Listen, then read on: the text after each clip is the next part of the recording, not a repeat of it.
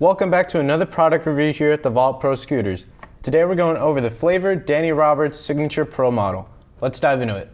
Right out of the box comes your deck with all the provided hardware. This deck comes in at 22 inches long by 5.5 inches wide. Going further into the specs, this deck has an 83 degree head tube angle. Going to the bottom of the head tube, the blunt slash crook plate is completely flat, which in return will help make that trick a lot easier. The bottom of the deck has a slight concave to it in the middle of it, but you'll be making full contact with each of the ground rails on each side. Danny Roberts also chose to have a graphic of a wolf on the bottom of the deck, and he also happens to have this graphic tattooed on him. The only thing left to do now is weigh this bad boy.